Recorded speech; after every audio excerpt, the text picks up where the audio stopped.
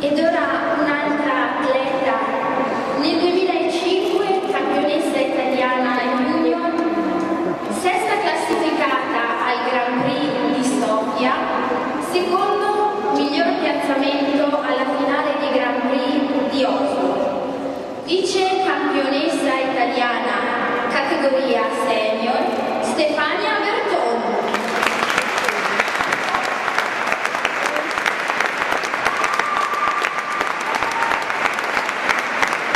piacciono queste canne.